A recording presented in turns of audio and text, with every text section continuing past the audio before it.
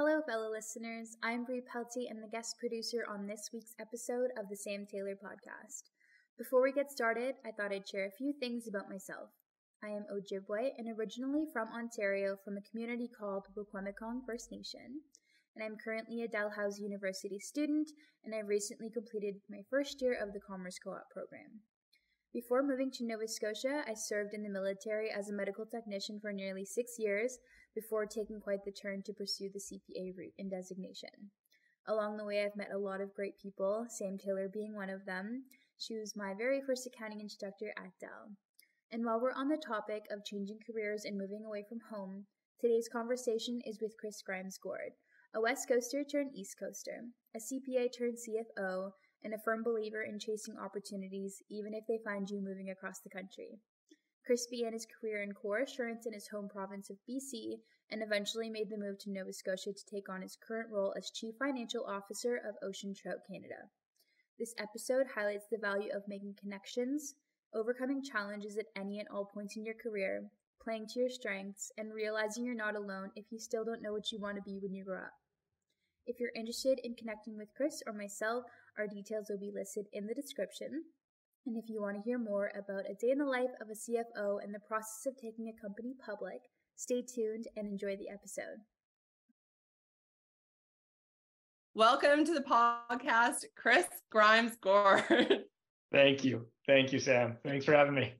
And thanks for pretending like that's the first time we've started pressing record. Uh, it, because it was, yeah. yeah, it was, yeah, yeah, absolutely.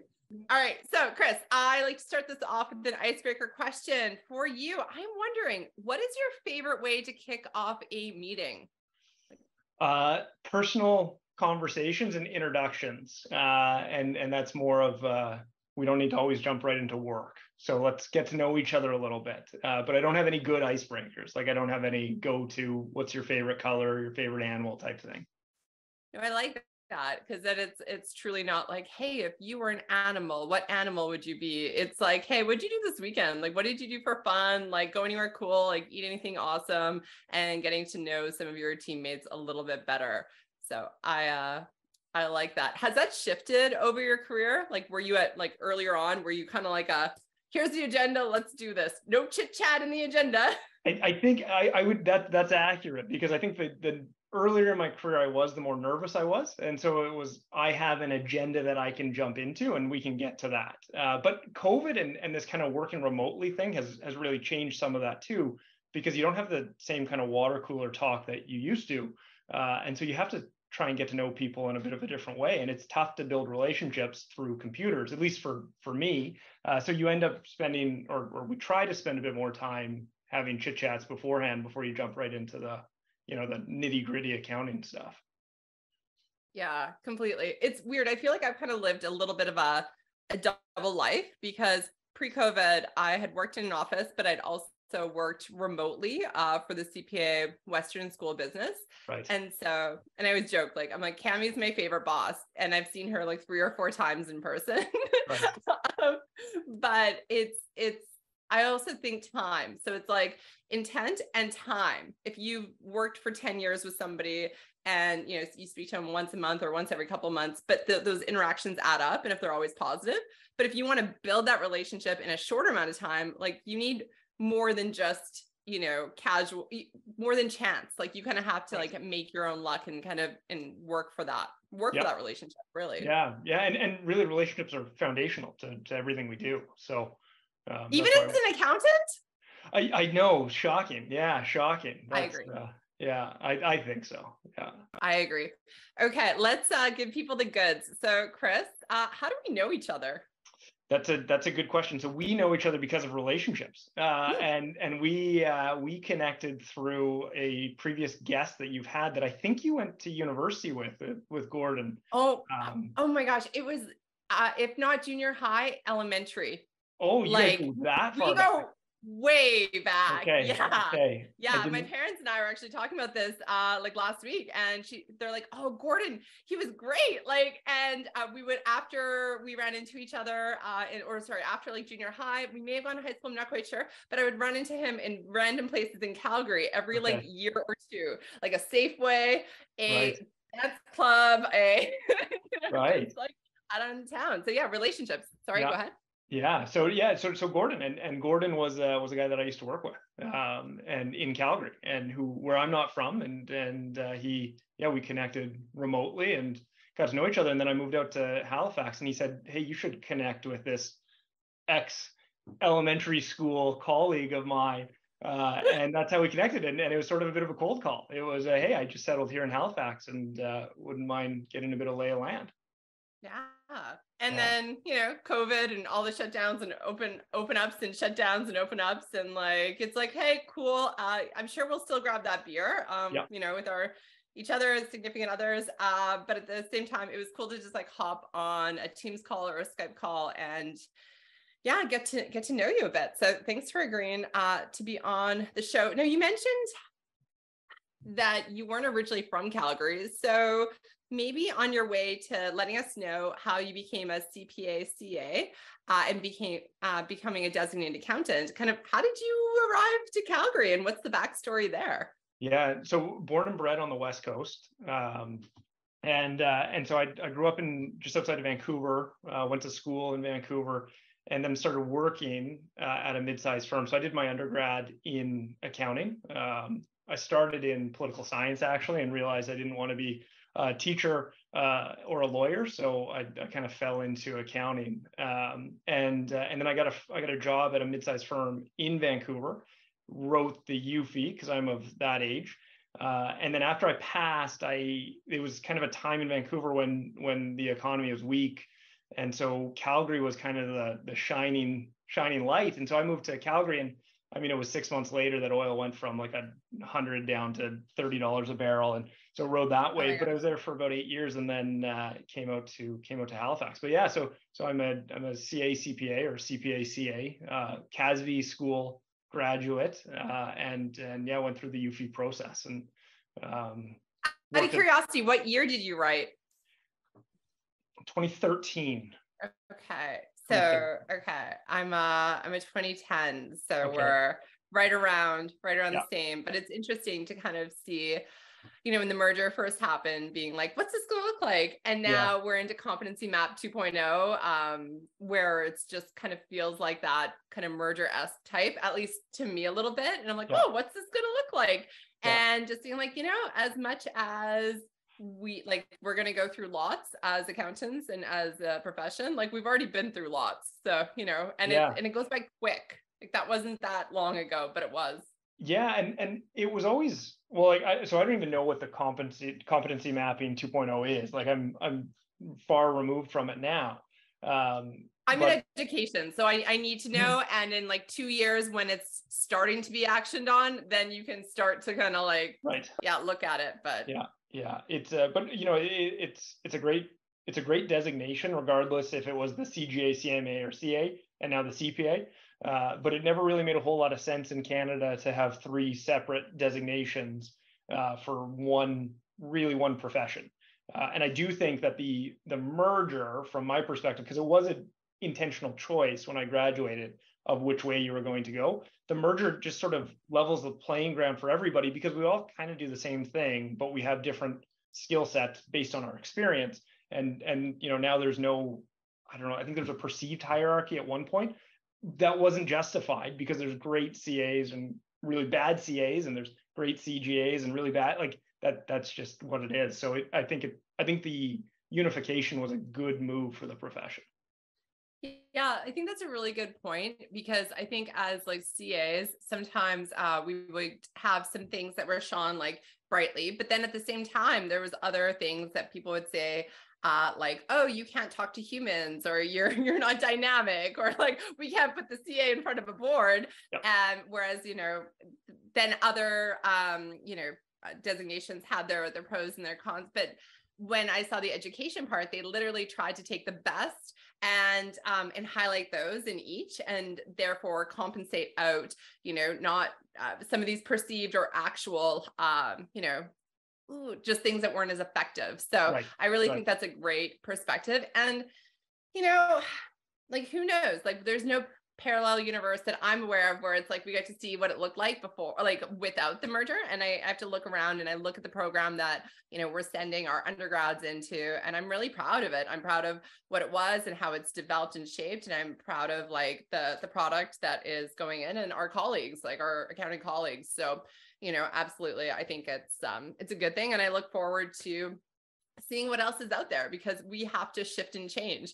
You know, if you li- if literally, you know, four months ago, you asked your computer to do something and Alexis would play the wrong song, and now you're asking it to solve research questions and you're getting out sometimes these like scarily good answers. You know, yeah. you kind of have to shift and bend and like be adaptive and not just say you're adaptive.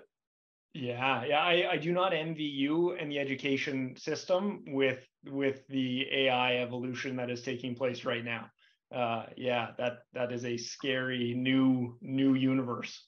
It's scary and it's new, but it's also really kind of cool as far as you know we get to pilot in, in many aspects like how to be adaptive and robust. And you know just as we are going back in person i think for you know like for the foreseeable future because we were back yeah. and then back and then back and then um it's like okay this is resilient resilient again. And then what's the learning objectives here? Like what do we want people to know? And within that it's talking to people in the profession saying hey what would be helpful for you? What would be an ideal team member look like? And make sure that we strengthen those um, or keep those bonds and that connection really strong. Um, so like, thank you. I, I don't know. I'm excited partly because um, I'll be excited for anything that doesn't include a lockdown at home. Really, sure, like yeah. I, I really, I, I like my alone time, but like it needs to be balanced out with like some good people time. yeah, yeah. No, I get that. Yeah. Okay, so Chris, what brought you out to Nova Scotia? Yeah, so I took the role of chief financial officer of Ocean Trout Canada. Uh, so we are a 25 year old uh, aquaculture company that focuses on the production of steelhead trout. Um, company reorganized about five years ago and refocused from Ontario into Atlantic Canada. Uh, and then we got pretty serious uh, just right around when I joined of refinancing and taking the company into operation again. So we're we're sort of a we're a 25 year old company that's operating much like a brand new start in in sort of sustainable protein production. Um, and it was you know i got the opportunity through a relationship as i think this there's going to be a vein of that through this entire conversation. Um, but uh, i got the opportunity to come in at, at the cfo level out of uh, pwc and it was kind of one of those things that when you get offered that job or you get the opportunity um, you, you, you take it, or at least I take it. Um, and so my wife and I packed up and, and we left the West Coast and we moved to Halifax to take on the role. Um, and we've been here for, yeah, just coming up on 18 months now. Wow. Yeah. What was, uh, what was it like moving for work? Because I think that's something that nobody ever really talks about. Yeah. Yeah. So I've done it twice because I went from Vancouver to Calgary uh, and then I went Calgary back to Vancouver and then Vancouver out here. Uh, I remember going Vancouver to Calgary was harder because I was 24 um, and I didn't really know I didn't really know why I was going other than Calgary promised great opportunity. Uh, and I love Calgary. Like it, that, that's a city that that will always be in my heart, and it may be a city we live in again at some point. But that one was really difficult because it, it, I wasn't straight out of university, but my entire world was in Vancouver, and then I went somewhere new. Um, and then Calgary, you know, it was a it was a great time. I worked at two really good firms out there. Um, coming out to Halifax was a little different because I'm a bit older. Uh, I'm married, so I came with my wife, came with our dog, uh, and so it, you know, there was less of the unknown or the concern about how do you build a life here because we were sort of bringing our life. Uh, but I do think that there's something to be said about you know going into a smaller market, which Halifax is, uh, with and getting opportunities that you may not be afforded in a bigger market like Toronto. Uh, I've got a lot of public company accounting experience, advisory, um, that sort of stuff, and that that is a harder skill set to find in Halifax uh, based on the experience because those are really typically headquartered through Vancouver, uh, Calgary, Toronto, Montreal. Uh, so so yeah, it was a big move. Um, I hate being this far from my parents, um, and and that's difficult. But you know, I, I am somebody who wants to chase the opportunities when I can. No, completely. Um, and I can relate. Um, Yeah, with being far away from family, but also being able to take advantage of opportunities and be excited and know that, yeah, you can not just rebuild. I like how you said bring it, you know, you're bringing your family and you're bringing that experience yeah. and it's completely different. I feel like a lot of people would have maybe said that it's harder to kind of move cities for a career now versus when you're 24 so it's Maybe. really cool uh, no yeah. so it's really cool to hear your perspective because uh, you know anything that's kind of counterintuitive and that makes a lot of sense like when you're 24 you're a lot closer like what your life looked like in university and the different lifestyles um, yeah. but when you're a little bit older you have different priorities and life looks different and what you value looks different so well and, and maybe really- if if I hadn't have done the move to Calgary, maybe mm. I wouldn't have ever made like well I, I wouldn't have because i wouldn't have made the relationships based out of calgary but you know doing it once like you know the first time's always the hardest. Uh, and i remember like i remember my mom dropping me off at the airport and it was like the saddest day. Like you know these two like it, it's like the movies like my mom and i just yeah. bawling our eyes out like at the airport just just and it's an hour away. Like it, you know calgary's not far from vancouver but like it was like this, it was this thing. And uh, and don't get me wrong it was difficult to come again but uh yeah it, it was it was easier because the you know this was an opportunity. Uh, and again bringing bringing the life with me uh, in some ways. And and thankfully my wife agreed.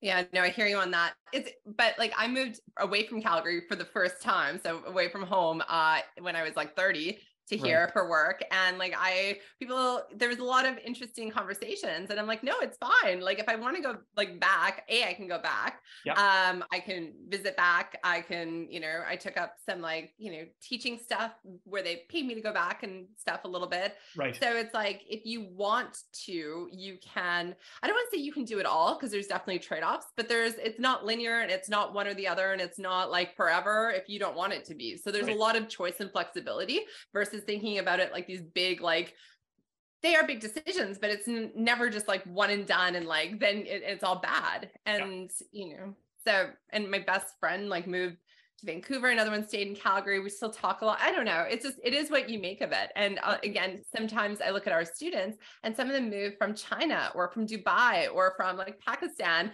And, you know, I definitely take that into consideration when once in a while I'm like, oh, I really wish I just had like a, you know, Coco Brooks pizza. Yeah. it's like, it's okay, Samantha. Yeah. Um, so Chris, what uh, you mentioned assurance because being a CPA CA means you likely had um, some like were in assurance for a bit. Yeah. What did your path look like uh, when you were in the firm? And then um, could you be a little bit more explicit on the relationship if you want um, yeah, that brought yeah. you out to Halifax? Yeah, sure. So so I yeah I started core assurance at a mid-sized firm in Vancouver. Um, and I wrote the wrote the UFE out there. Uh, so I spent two years working in Vancouver, core assurance, you know, kind of bread and butter, junior mining for you know people familiar with the West Coast. A lot of it is mining, um, and it was it was great. I I really enjoyed being at a mid-sized firm. I had opportunities to go to Big Four, but but I chose the mid-size because I you know, well, I don't know how the recruiting goes today, but but I really kind of bought into that. Hey, you get to really know everybody, uh, and you get to own files early. And so I got a lot of responsibility on really small, like capital pool companies, which are TSX venture listed entities, where I was sort of said like, hey, here's the here's an audit file, figure it out. Um, and and so there's a lot of exposure and, and a lot of a lot of cool things with that. Um, and I'll preface that by saying I, I ended my firm career at PwC and there's a ton of there's a there's a you know ton of examples of why that is an incredible path as well. So um, i kind of got the best of both worlds but but my move to uh, my move to calgary i went to core assurance again um, at bdo and i spent another year and a half or so there. And then i sort of got tired of audit specifically but i didn't really know what i wanted to do uh, and that's a common theme in my life is is I don't really know what I want to do when I grow up, and and that that started at a young age uh, and continues to this day. I, I will admit, but uh, but then I got an opportunity to go to PwC, and I worked in in what's called the capital markets accounting advisory services uh, side of things, which is sort of a um, it's under or it was under the assurance umbrella, but it was sort of consultancy as well, and uh, you got to help companies with CSOX and you got to help them with assurance and and non like non-core assurance things. And we did some different types of finance effectiveness and implementation stuff. So I then spent oh, I don't know, six or seven years at PwC in that same group, going from a senior up to senior manager, uh, and got some really incredible opportunities. And and the kind of the most impactful one is is I took a took on a project down in Colombia. Um, and so I spent the last two years at PwC, I spent uh, 20, I did 22 trips to Bogota uh, back and forth, and I was spending, you know, 17 to 21 days in Colombia uh, each time and that's really important because that's where I met my wife, and so she's Colombian, and uh, and so like there's no doubt that my my trips to Colombia were longer after I met her. Like there's a direct correlation to the amount of oh I need to be down there, and you know, and this is pre-COVID, right? So so there was you know it was that kind of consulting idea that you've got to be on a plane and you've got to be in person, and and there's a lot of value to that, and and that relationship piece is I got to know the CFO of the company that we were doing all the work for. Um, and he's a he's a Calgarian. Um, and as a gringo coming down to do consulting in a primarily Latin or a Spanish uh, company, I just got to know David. His name's David Dick. I got to know him quite well because him and his wife were down there, and they really wanted to just go out for dinner with somebody uh, who they could speak English with. And so I just got the opportunity to to build a relationship with the CFO of you know one of the largest independent oil and gas companies in South America um, and got to know them on a really personal level. And we kept on, you know, doing work together, and we'd go, you know, we'd go for lunch and we'd go for dinner when when I was down there. Um, COVID hit. He left, moved back to Canada, and uh, and my wife and I we eloped to Vegas. So I'm just kind of you know all over the place a little bit, but we eloped to Vegas, and then we then we uh, we moved back, and uh, we were in Calgary one day, and and David and Coralie knew we were there, and so we went for dinner with them, and David said uh, look, I've got this, I'm, I'm an investor in this fish company out in Halifax and I'm looking for a CFO. Do you know anybody? Uh, and I said, no, I don't, I don't know anybody. He said, well, do you want to move to Halifax? And I said, no, I, I just moved back to Vancouver. Like I just, you know, I, am with my family. And, uh, and as, as what typically happens when him and I are together, we drank a bit of wine. Um, and so when we left late that night, my wife had to drive us back, uh, back to where we were staying. And she kind of looked at me and she said, uh, was he serious? Like, are are you, you know, was he? And I kind of brushed off, but you know, David doesn't, you know, he doesn't joke about those things. Um, and I called him up. Uh, that was on a Friday. I called him up on Monday, and I said, "Hey, maybe we should have a conversation." And uh, it wasn't two weeks later that I had the job. Um, and really, it happened quick, but but it was because him and I had gotten to know each other, and and I knew his wife, and I knew his kids, and I knew his family. But we got to know each other on a personal level, and there was a you know don't get me wrong, we as a team performed well at work. Um, like if we didn't do that, there's no way yeah. that conversation takes place. But we got to know each other on a personal level, and he trusted me, and, and he kind of knew what my I don't know my attributes were and and how I work, and he liked that. And without that kind of foundational relationship, he would have never offered or never talked about it. Um, so so yeah, that's how that's how this came to be. Um, and so I was I was quite fortunate. fortunate, but again, making your own fortune at the same time, right? Like, because here's the thing, and I love that you pointed it out. Um, my husband used to tell me, we used to talk about this, because looking backwards, you can kind of put the pieces together, but like when you're in it, you're like, whoa, like how did this happen? Yeah. And kind of discovering like you're always interviewing for your next job at your current one, except it's not an interview, it's doing your job and people yeah. recognizing it. And, you know, if you do your job your best that you can day after day and you know knowing that your best looks different every day but day after day if you're doing your job and delivering and you have a good attitude like people want to work with people like that and yeah. if you're not i don't know if you're not answering emails every five minutes or if you're not i don't know um you know the most chipper morning person but, you're like authentic and you deliver and you deliver a good product and you're pleasant to be around like that speaks for itself and then you know, job postings that, um, you know, were never public are all of a sudden, you know, sent to you. And it's like, oh, okay. Um, yeah. it's not, it's not, you know, necessarily like, oh, you're, you know, family connections or this or that or other things. It's like, no, you work for these opportunities and they, they pop up. And just because they're not evident to you or I, like it's, it's, it's there. It's a looking yeah. backwards. So I think it's really, really cool because sometimes you're in the thick of it, and I don't know about you, but sometimes I'll be in the thick of it and be like, oh goodness, like this is a little bit of a, a slog. And then, you know, kind of like two years later, you're like, wow, like this came from that. And it's it's pretty cool. Oh, it is. And and I like I remember I was in the car when I got the phone call to say, "Hey, we need you to go to Colombia for the first time." And I hung up the phone and my my words weren't very PG appropriate because I was like, I don't because the middle of summer and I was in Calgary and we were, you know, summer yeah. summers are short in Calgary. I want to Were you on the river? Were you like about to like go like rafting down the river? I was on like, my oh. I was on my way to Whitefish, Montana for a guy's golf trip and I got the phone call like half, and, and that's a seven hour drive by itself. And so I got it like, you know, I was probably by, I don't know, Med Hat or something like that on my way down.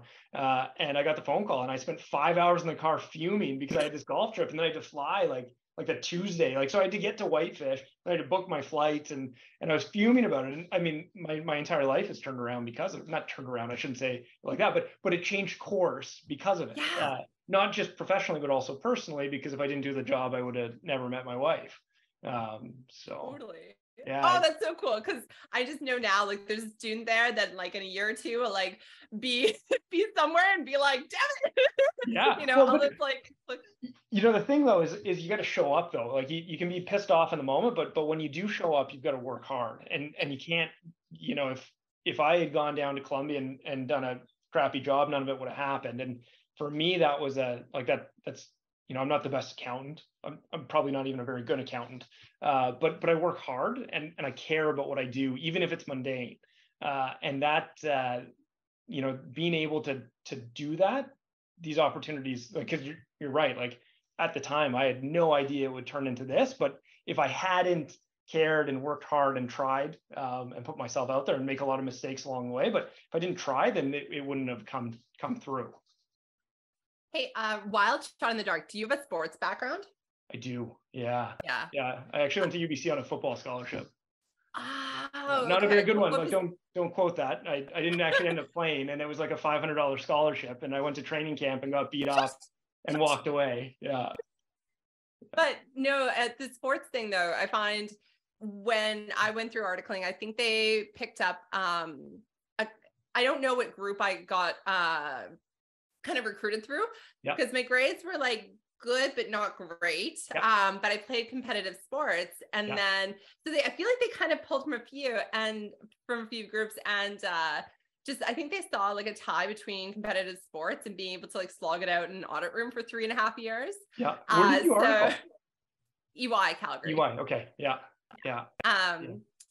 so yeah so i, I kind of look at that and like i I don't know about you, but I attribute um, the best investment I ever made in my 20s was to my designation and mm-hmm. not necessarily you know the debits and credits of what i learned but just like how to work in teams how yeah. to like go through a sucky time how to work with like deadlines and then from that how to pick and choose projects people you know the relationships and like you know the challenges so you don't really get a lot of choice up front, but you work yeah. through it and kind of persevere. And then later on, when you do get a choice, you can kind of be like, okay, now's the season in my life where I don't mind grinding again, or now's right. the season in my life where I want to work with good people for less hours, for less money, you know? Yeah. So I don't know. What what do you think about that kind of investing like earlier on to kind of build that seed later? Yeah, I, I think um, you know, I think if you coast through, um, and and look, if you, you you probably didn't coast through high school to get into university, and you're probably not going to get into the CPA program if you coasted through university, and you're probably not going to go to a firm or get designated or or work for a company because you coasted. So I think you know most people are who are listening to this probably work pretty hard, but um, those investments that you do earlier on, and and the harder you try and the harder you fail, uh, you know, look, it it my my sister's always been a, a, big help on that. And and you know you fail quick and you fail early um, and you learn from it. Uh, and and that you know that's a you can take that from sports but you can also put that through your work environment. And um, yeah I, I think it's important to i think it's important to be wrong and to fail and to try uh, but then to try again and to pick up and go again. Like that adversity piece and that's that's a lot of what i learned at the firm was you know you spend an entire week doing a working paper and then you put it into review and you just get like coaching note and coaching note and everything you thought you did right. Oh, I thought you were going to say shit on, and I was well, like, I, I, didn't know. Are, like, are we are we able to corrupt the youth with this? Because yeah, yeah, get, yeah, we're we're very transparent. It's important that they know what they're going into yeah, so that they like, can like yeah, like you get shit on, and you get shit on a lot, and and you think like you go in and you're like, oh, I just graduated and I know what I'm doing, and then you do a working paper and like there's not one person who shits on you. There's like four. Like it goes to your senior, and then your manager, and the senior manager, and then the partner, and then maybe the quality review, and you get coaching notes the whole way. Like if you if you don't kind of build up that ability to to learn and to understand that that is part of the learning process, uh, it, it makes for a pretty short time. Uh, but that's what, you know, I, I, think that the people who, who served me best in my career are the ones who coached me the hardest and gave me the hardest coaching notes and picked on me. Like, look, I detail orientation is not like I'm not that great at it, but I learned that if you can't put together a pretty working paper, how can I trust that you can do the complex calculation that is behind it? And so, yeah, I had this one manager. I remember him to this day. He had a specific color blue you had to write all your notes in. And he would check to make sure it was the exact blue. And it wasn't one of like the drop down blues. You had to go and find it. And to this day, I do every note with it still. Uh, and like a little like OCD, but but you know, it, it was that thing. Like if you can't do the little things right, how are you going to do the big things? And if you're not going to take the feedback, uh, how are you going to grow from it? And so yeah, the, the people who were who who kind of helped my growth the most were the ones because if, if they're giving you coaching notes and if they're giving you um, coaching points that means they care and that means they're they're trying to get you better yeah no completely and you know somebody can sit here and say well like that's not the case with me somebody gives me coaching notes um, or feedback and they don't want me to succeed well you know what boo on them. They just took time out of their life to give you yeah. notes. Like use yeah. them and improve and yeah. you know and say thank you. Like feedback is a gift, and uh, if somebody means it with a poor intent, whatever. Like, yeah, yeah, and and like trust me, there's there's lots of people, not lots, but there are people like that, right? Like there's there's there's good and bad apples in every apple cart. Uh, but it's yeah, yeah. I I think if you can if you can learn to because you can learn something from everybody, even if you know, even if it's a very, you know, the guy likes the color blue, like a specific color blue.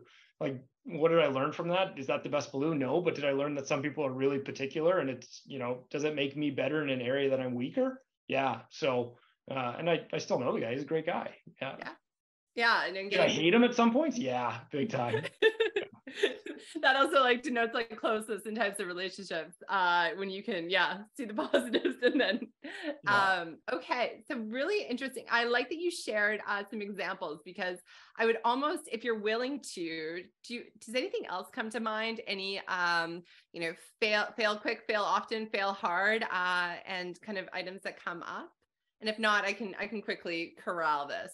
Yeah i i think um one of the uh, one of the ones I, I walked into a presentation for a client uh, and I thought I knew what I was talking about and I didn't. Like I thought I could skate through it. I I like you know I I would consider you know when you when you're going through your career you got to kind of figure out what what you do well individually and and as you and I talk there's going to be some people who listen that say yeah look I I played sports too and I did this and that resonates and there's other people who won't and so you got to kind of figure out hey what do you do well and what's your secret sauce right uh, and and part of mine is I'm I, I think I've got a bit more personality than what people think when they come to an accountant. So so I'm not the best accountant, like, and I'll tell you that a hundred times, but I I should be able to translate accounting to non-accounting people, and that's kind of what I do.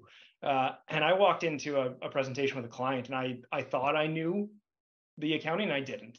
Uh, and it became pretty clear pretty quickly that I didn't know what I was talking about, and and then you lose all credibility. Like you you lose your you know I I had my little speech, but I didn't know it deep enough to say like look I can answer a question on this, uh, and I didn't anticipate questions and I didn't prep for it, and so so that was a that was a pretty strong kick in the teeth for me. Uh, and it just you know my takeaway was you got to be prepared. Like i i i'm not good enough to not be prepared and walk into one of those meetings. I don't know and it like it was a IFRS conversion. It was going from like ASPE to IFRS, and it was on PP&E, and I, you know, I just didn't know it well enough. So, oh, that is that is so relatable, um, uh, for so many reasons. And sometimes you have to give yourself a little bit of uh, grace too, because, uh, like I've I've prepared for things where I felt like I was prepared at the time, but then when you go into it, you quickly realize that you weren't but there was no way for me at least to know mm-hmm. that I had to do more or differently had I not right. gone through that next item. And sometimes you get caught and found out, and sometimes you're able to kind of not. And yeah. but you need to learn that lesson either way and just say, okay, just because it didn't have a bad result this time doesn't mean I didn't, there aren't things I can do in the future. Um, yeah And so I think it's so important to to learn, even if it's not a big like mess up, and learn from others. Uh, and so oh. to your point, maybe people resonate with this and us that, you know, played sports, or maybe they're like, hey, piano or acting, or they can see yeah. these different items. Um, I will agree. Maybe our detail oriented people are like, this is driving them crazy because like I have things off like balance or because I'm also not uh I'm not the most detail oriented uh, yeah. but I also believe in like how do I say this um if you're not able to kind of see the bigger picture and know where things work in, it's a skill to be like, okay, this isn't perfect. We can address it later, but the big wins are there and then yeah. own that. And yeah. then, you know, you'll find out along the way if like there's a new blue that needs to be used or like me, I had a director that liked a certain formatting on a certain spreadsheet. And I was like, yeah bring it on. Like happy to use your formatting. I should have asked this before the meeting, before I did like, you know, those 80 hours worth of work on it. That's on me. Yeah. Happy to do that. Yeah. you know, yeah. all good. Yeah. Okay. Chris, I would love to um, know, I, as CFO, like what does it look like day to day um in or week to week or month to month or year to year in your life and do you do as much accounting as people think uh so i ooh, what does it look like? It it yeah. um that's a good question. Uh, because we're small, uh, it looks like a lot of things. And so when I started, when when I came in, we had an outsourced accounting firm who did all the bookkeeping, and we've since brought that in house. And and I actually just hired uh, our third accounting staff, and she's a manager of financial reporting. Um, so from from that over the 18 months, my job has sort of gone from AP clerk uh, all the way up to CFO.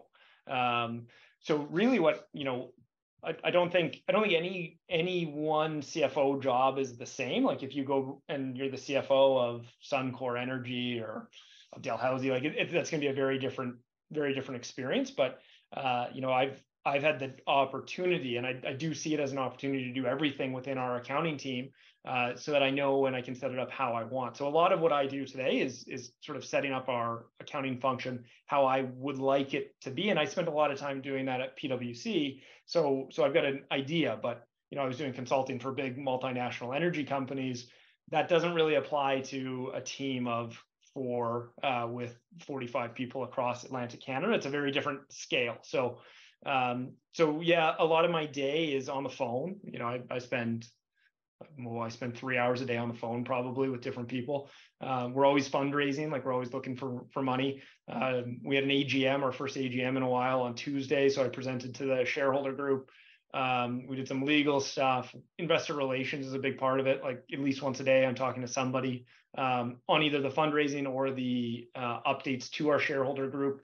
Uh, and then really kind of what what I've trying to focus on is bringing more of a sort of professional attitude to our back end team. So not that we, we just didn't have a back end team, so we can build it how we want. So what is everything that goes out to our teammates and what do we need? So how do we improve the data collection on the marine side? How do we improve data collection on the freshwater side? And then how do we, you know, report that into management and how do we do payroll better? So it, it's pretty dynamic um, and it's a lot of different things, but I don't think it well, I don't know uh, because I haven't been a CFO anywhere else, but it's probably it's probably very different across every every role and every organization. and I think even just saying that and recognizing that is of large value because, uh, like, I surveyed my intro students uh, this fall and I said, Who here wants to be the CFO or CEO of a company? And we got like, I'd say like over half of the people raising okay. their hands. Yeah. And it's like, Cool. Um, and I'm like, by the end of class, I'll show you how you become the CEO or CFO of your own company. and they were like, what? And yeah. so it was on a shareholders equity and like starting up a corporation. Yeah. And I'm like, listen, um, titles titles are important. They communicate a number of things, but understanding the role and understanding the functions um, are, are, you know, really where it's at. So I would say that for some people that I talk to, um, being the CFO of Suncor would be, um, and sorry, Suncor, uh, yeah. and it would be like, they would be like, no, like, how did I wind up here? Like, it's, um, and like your job would be a dream job and like vice versa. So I think it's really, really important to recognize that, you know, there are scales, there's diversity, that it's not just, oh, this is a job, this is what they do. Right. Um, and within that, I really think it's neat how, you know, being an advisor and being consulting for multinational um, and international like corporations, for large corporations, um, you've been able to kind of see, well, if they would have set it up like X, mm-hmm. then by the time it grew, you know, it wouldn't look like this. So I think it's super awesome. And like you said, an opportunity to start off, you know, doing the payroll, doing, um, you know, uh, the payables and kind of understanding those functions and then building them as you wish and with those integration activities in mind. So I think that that's super cool. Yeah, it, it's cool. Uh, the the thing for me too is that this was a brand new industry. Like aquaculture is is new to me and, and it's not a well like there, there's a lot of aquaculture that goes on in Canada, but not the same as in Norway um, or Chile or some of the other kind of large international places. And so the best, I found one of the best ways for me to really understand what was going on was to get into the weeds of all of it, to to see invoices come through and understand, well, what is this? And and I've been, you know, I work with a great CEO uh, who's been very patient with me and getting me up to speed. And, and we work well together because he's operational and, and very science based. Uh, and he like when you say IFRS around him, he cringes. Like he just cringes. He he hates it. Uh, and so so I, I can take some of that kind of burden off of him. And and he's been yeah fantastic to to get me up to speed on on you know what we actually do because if you don't understand that you can set up the best process in the world but it may not be fit for purpose um, and and i've yeah it's good to good to know um, so when we first talked, I remember talking a bit about uh, the product, about uh, I like how you call it single protein. So um, you did not know that despite being born and bred Calgarian, I worked at Red Lobster, which we are. Uh, so yes, so while many people were all about uh, the salmon and blackened yeah. salmon, we had uh, trout that has um, a, meat, it's salt and pepper trout, I believe, or like lemon pepper. Lemon pepper trout is very uh, popular. And while some people feel like trout has a strong taste, like salmon has a strong taste, it also has, I think, more protein or just as much protein as salmon. And it's yeah. lean and it's delicious and it packs like great, um, you know, recovery fuels for the bodies. Any uh, any kind of one pitch or anything I missed on trout because I I am a big believer in trout. Yeah, so so very uh thank you for being a believer. Um it's uh yeah that that's big. We we like trout for a lot of reasons. Um a lot of them that you mentioned in terms of interchangeability with salmon, it's it's almost identical like a, a the the average consumer uh, if they saw a fillet of steelhead trout and they saw a fillet of Atlantic salmon, they'd have a very difficult time knowing which is which. Uh, and and I would venture a guess to say more people would actually pick the trout because it's got a bit of a deeper red color to it, uh, so it, it looks nicer. Uh, we yeah we're we're a big believer in trout. We we think there's a huge market demand for it. Uh, trout is a very uh, sustainable protein and, and it works really well in the aquaculture environment. Uh, specifically where we do some of our operations, we, we don't have the same issue uh, with sea lice and with some of the diseases that some of the salmon farmers do, based on location and also based on species. And so we love it, and and we want more people to eat trout, and we think more people will because uh, we've got pretty big growth plans to uh, to to not not take over the salmon market, but there is growing demand for consumers to eat healthy and sustainable protein. Uh, our protein happens to be really close to the market. I mean, we're our marine sites are in Newfoundland and Nova Scotia. Um, our competitors are bringing the same product from Norway and Chile.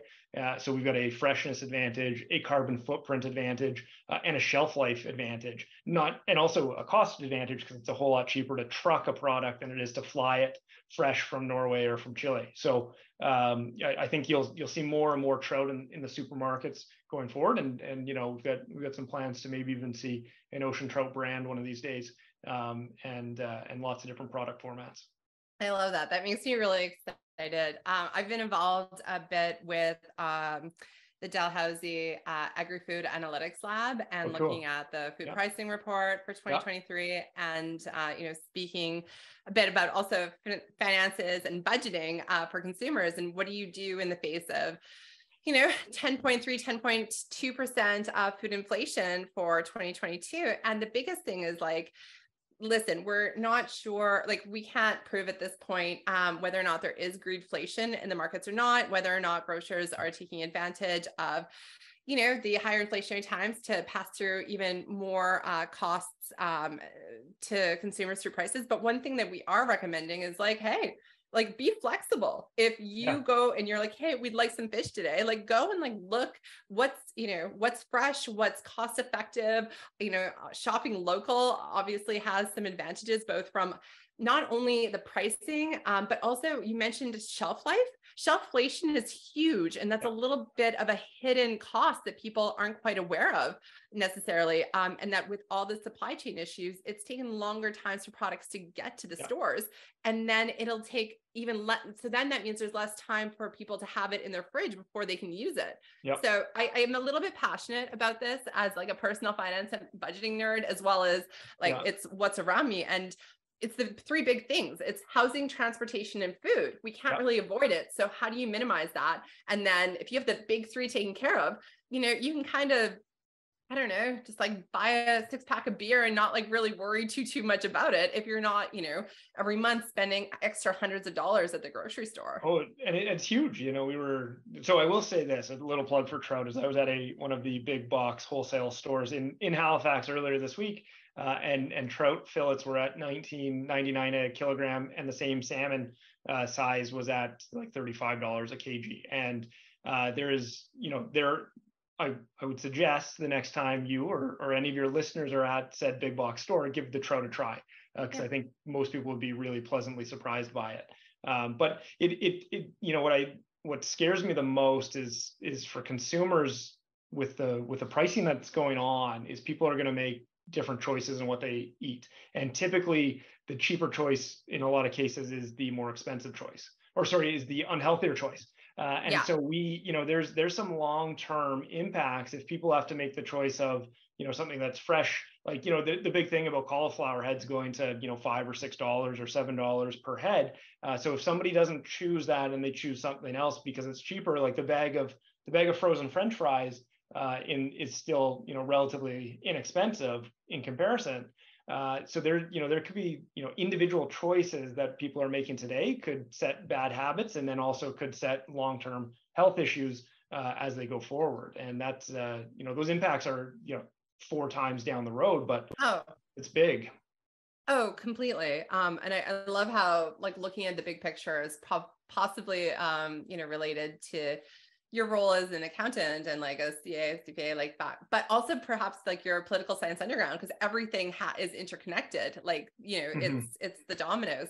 So I asked my cost management students this term, their third, fourth year accounting, finance, management, um, and or MBA or PhD students, and I asked them what a cost was. And um, they were, you know, they came back with like, oh, an economic outlay of resources. And then I was like, are there other types of costs?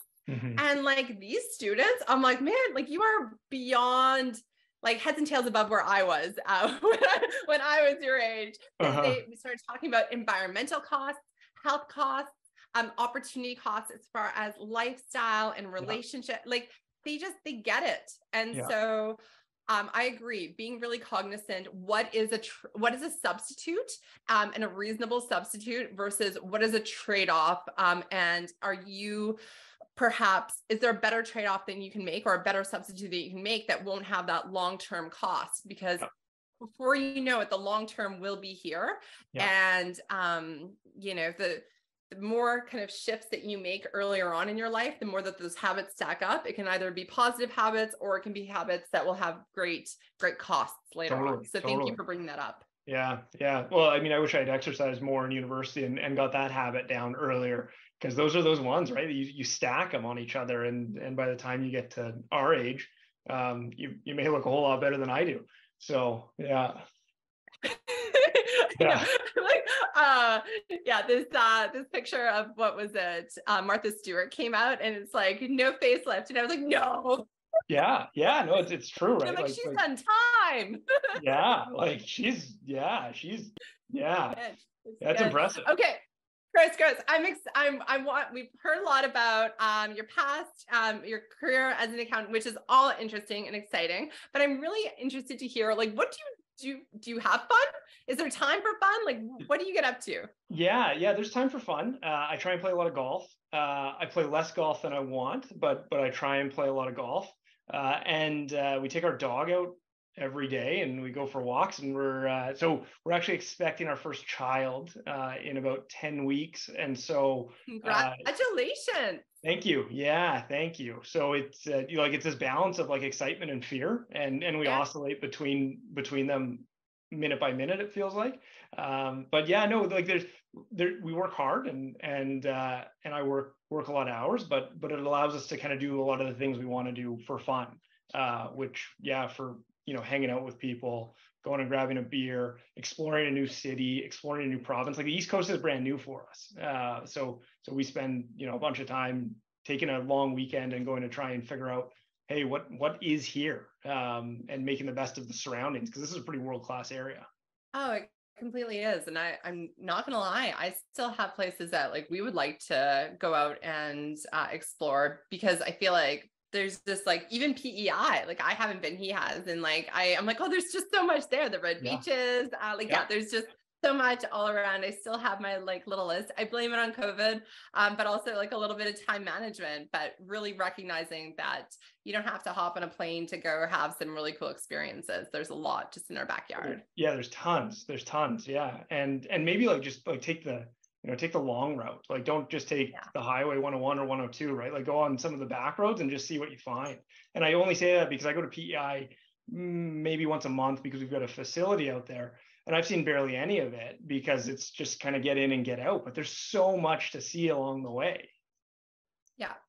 No i think that's gonna make uh make some time to just oh, go at an accountant. I'm like to make a list. Of course, of course. Yeah. But even more so, like just block out block out the calendar. Just like see see what can make it work. Be purposeful yeah. about it. Yeah. Um, okay, so you you're here for 18 months. There's, you know, uh baby on the way in 10 weeks.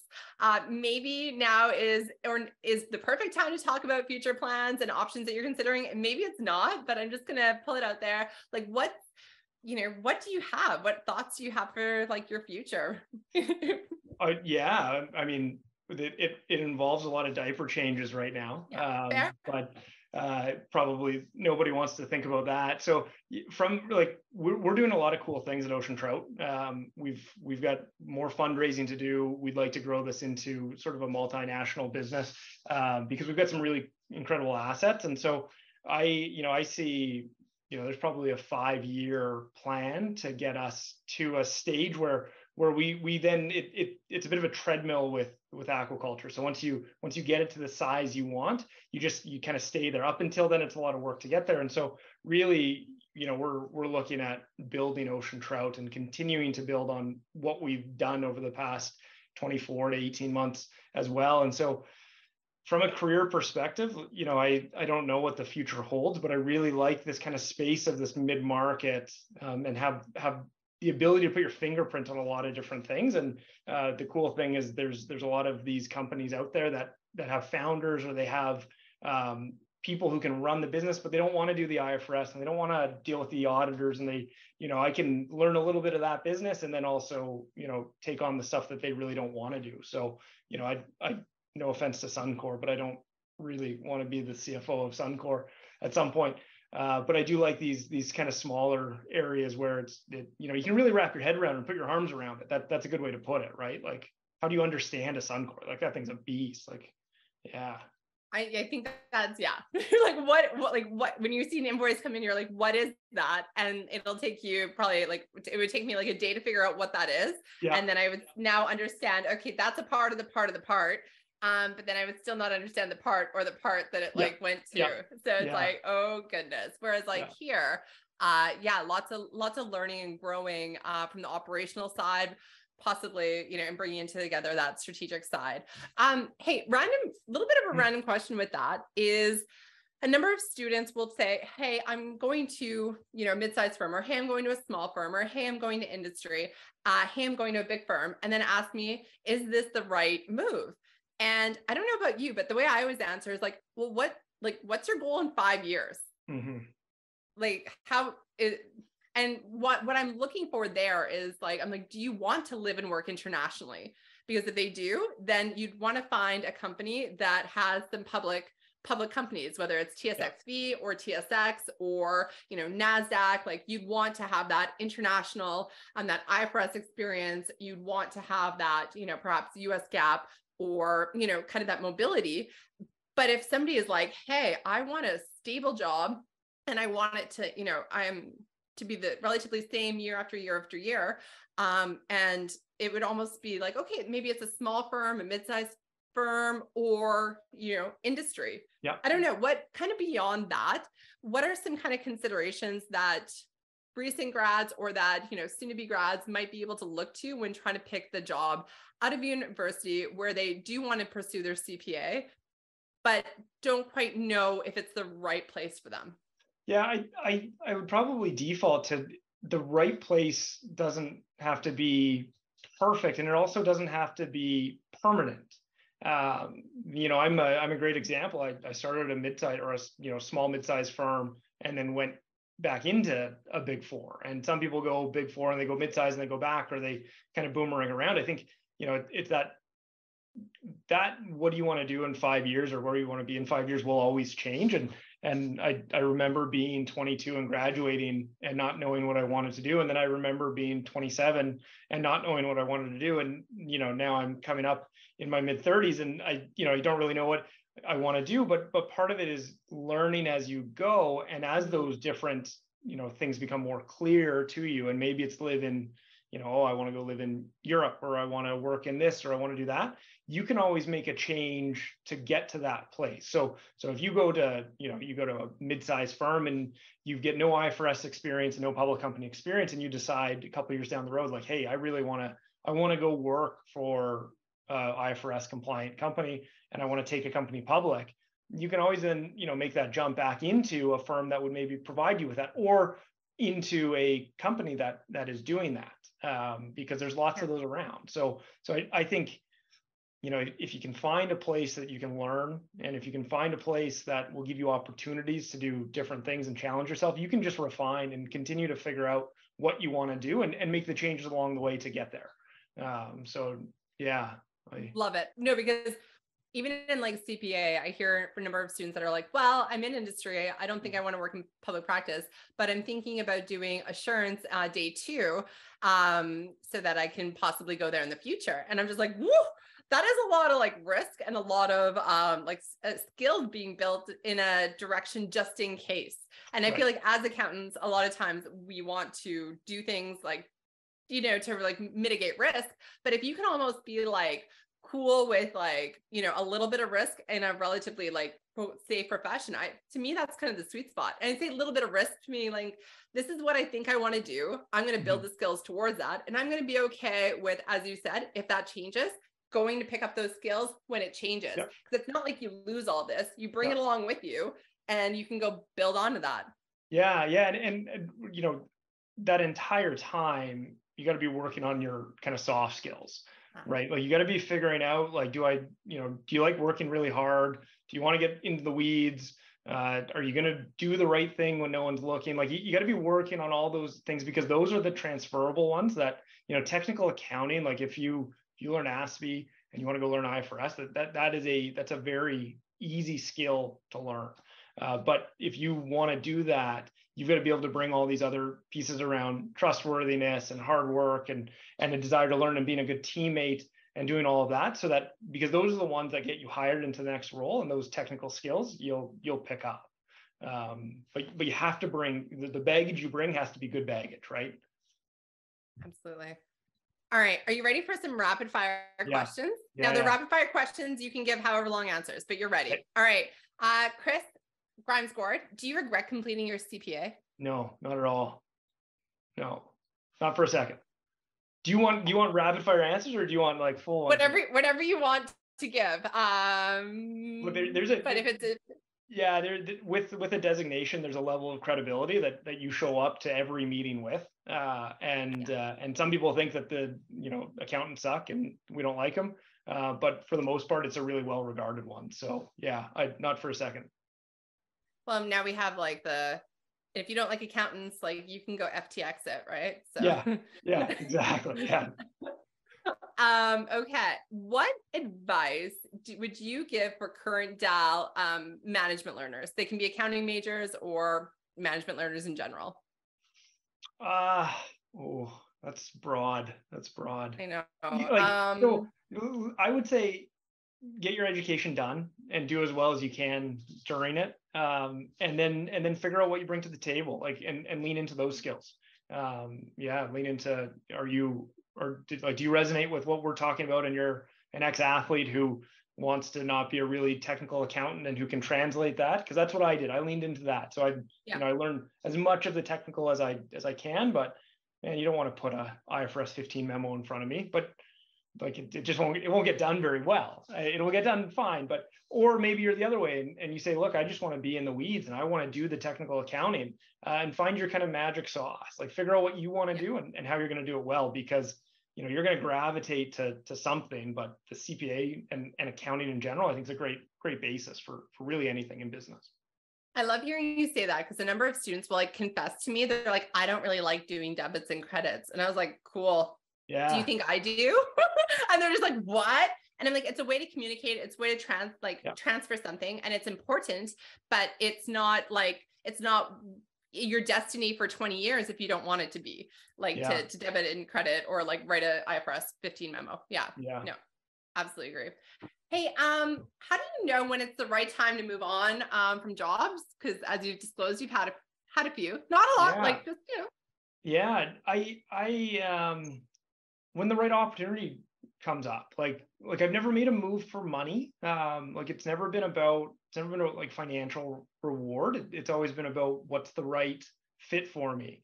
Um, and so so you know starting in Vancouver and then going to Calgary at BDO and then going to PwC, it was you know, it, it just it, you sort of feel it like, and and that's that refinement of, hey, what do you want to do in five years?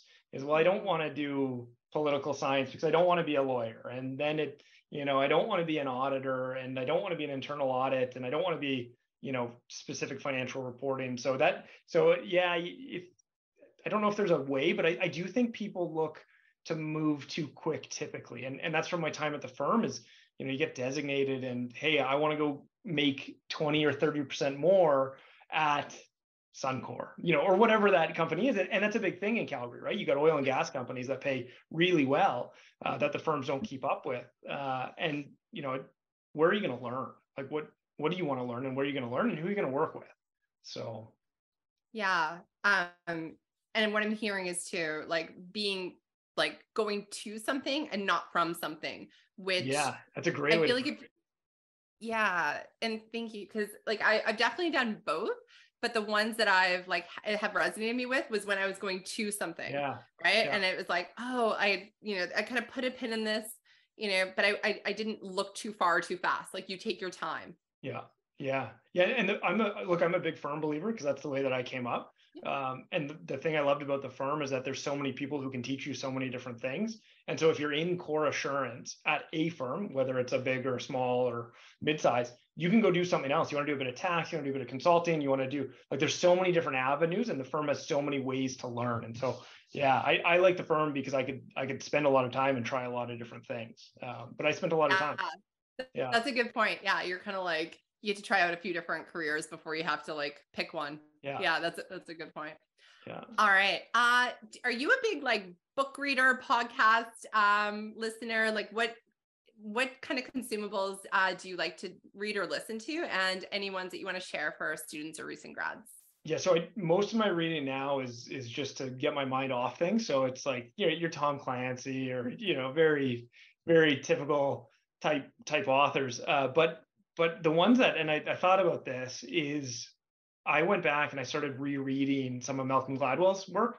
Um, and and I, you know, David and Goliath, I, I picked up again, and um, there's a there's a lot of there's a lot of things that I take out of it that I enjoy. Um, so I'm I'm a I'm a Malcolm Gladwell fan. I like the way he looks at things. I know that there's some critique on some of his writing and some of his thoughts on the academic side of things, but um, I I enjoy it and and was he I, the outliers?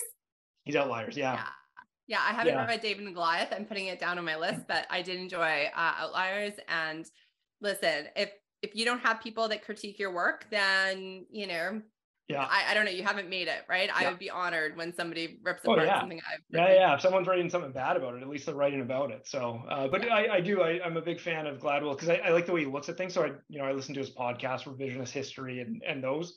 Um, listen to like a lot of Planet Money and NPR type type things. Like nothing, nothing too crazy. Uh, but the other one, uh, a really good book is Grit by Angela Duckworth, um, and it's uh, you know, it's kind of that same idea of you you gotta gotta lay your foundation. You gotta work really hard and and those are those are the things that make people successful it's not your you know your skills that you're born with it's what you do with what you're born with so Love that.